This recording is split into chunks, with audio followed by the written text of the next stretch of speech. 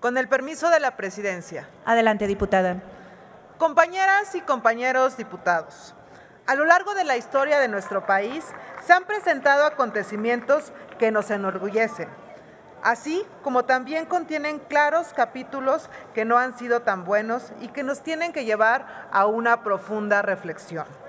Uno de ellos es precisamente la conmemoración del 175 aniversario del Tratado de Guadalupe Hidalgo, o llamado oficialmente Tratado de Paz, Amistad, Límites y Arreglo Definitivo.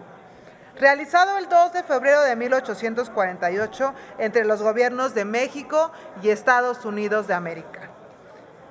En aquel momento se, trataba, se estaba pasando por una severa crisis, motivado en gran medida por la anexión del Estado de Texas al territorio estadounidense, motivo por el cual el embajador mexicano en Washington anunció la suspensión de las relaciones diplomáticas entre ambos países.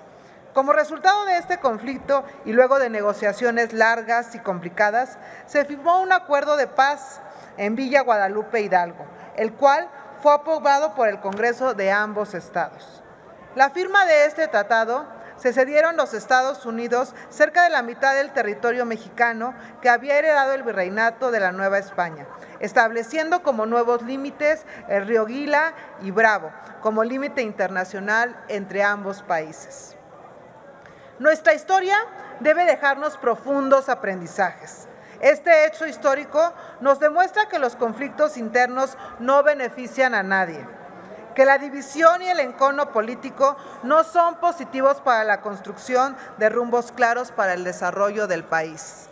En el PRI sabemos que la unidad nacional debe imperar por sobre todo los intereses personales y las diferencias ideológicas. En el PRI queremos un México unido, en paz y con visión de futuro.